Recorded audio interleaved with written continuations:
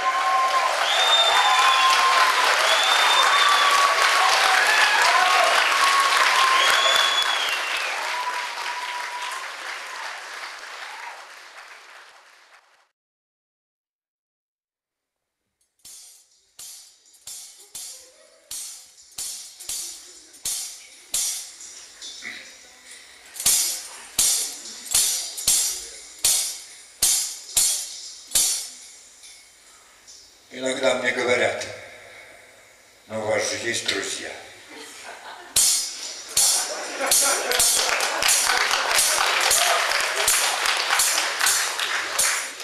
Обычно отвечаю. Какие друзья? Кто не бросил пить? Все померли.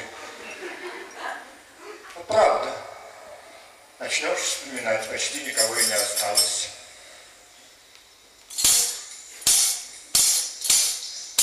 Целое поколение. А я ведь, между прочим, тоже представитель поколения. Вот и прикидываю вокруг себя.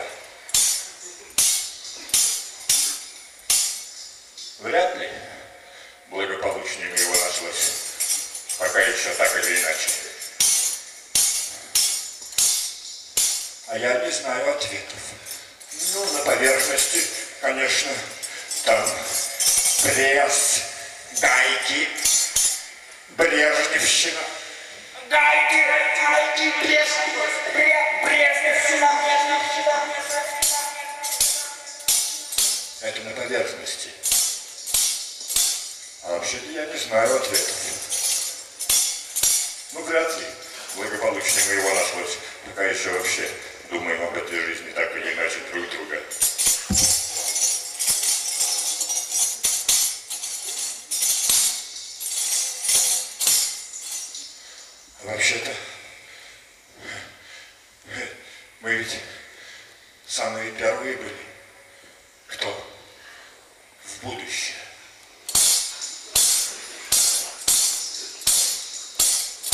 Не в настоящее, нет. Оно понятно. А вот в то, которое будет. В хорошее.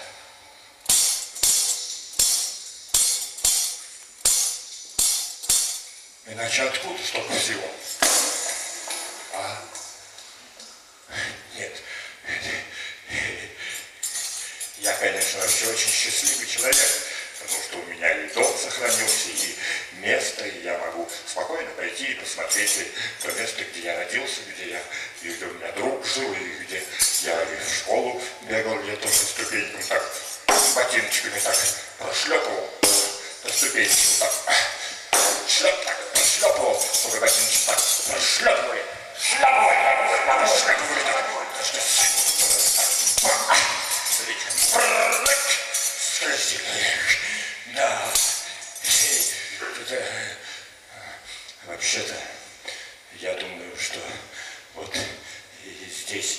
слишком прирос, оторваться не могу, а там тоже, понимаешь, не насмотришь, вот меня и разрывает. И я, конечно, и не, не знаю ни ответов, и, и, и вообще-то,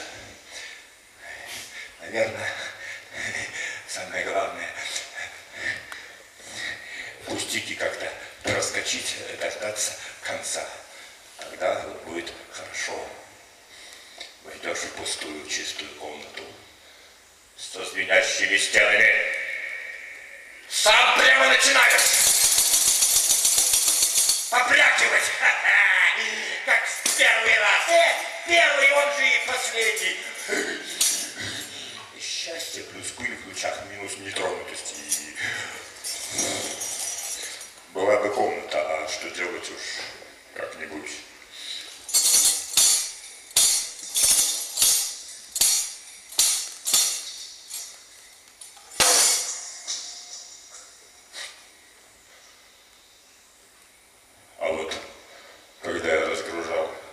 Ящики с пивом осенью в 8 утра, утром у сосисок с похмелья, чтоб дали без очереди.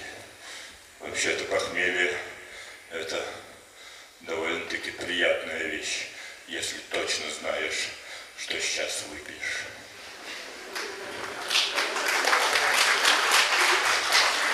Сначала все вместе, а потом в сторону обрус и опять к друзьям.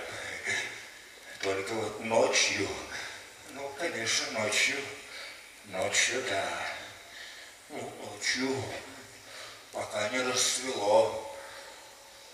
Конечно, все-таки чувствуется изгиб.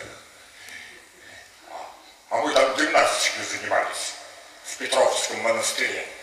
А что, между прочим, не самое худшее. Не конный полк летали, прыгали, были относительно чисты, как и потом в сосисках на подоконнике. Первые новые. Совсем новые.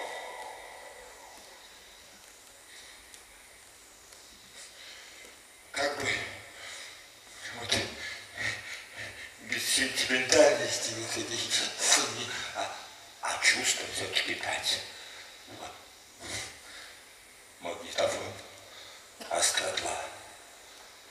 Регулировка низких и высоких раздельная. Ламповый катушечный. Механизм от Филлипса овальный.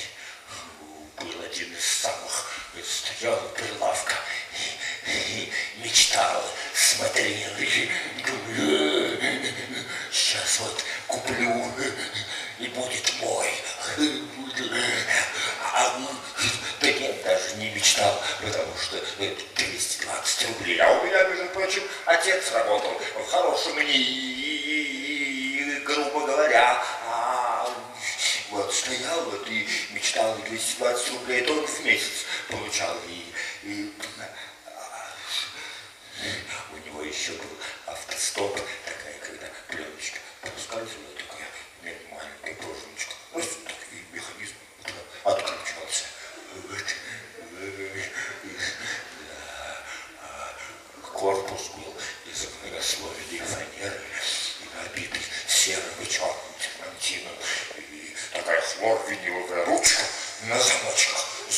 Можно было замочки прямо стеклянную ручку вот, снять, а потом опять. На замочке. Раз опять, опять